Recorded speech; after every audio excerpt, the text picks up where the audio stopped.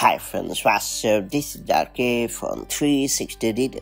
It's time to learn how to enable or disable hardware acceleration in Chrome on Mac or Windows PC.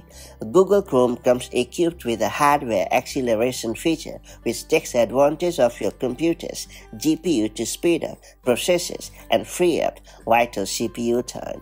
In Chrome, hardware acceleration utilizes your computer's graphics processing unit to tackle graphics intensive tasks such as playing videos, games, or anything that requires faster mathematical calculations. However, sometimes driver incompatibilities can cause this feature to misbehave, and disabling it could save you a few headaches. That said, let me show you how it's done the right way. First and foremost, open Chrome on your Mac or Windows PC.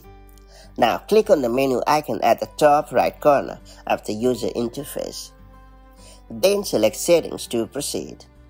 After that, choose System in the left sidebar and finally enable or disable the toggle next to use hardware acceleration when available and that's all there is to it. So that's how you can easily enable or disable hardware acceleration in Google Chrome on your Mac or Windows PC depending on your needs. If you found this video helpful, do like share it and I'll see you in the next video with more such handy tips and tricks. Till then, stay safe and have a great time. Bye bye.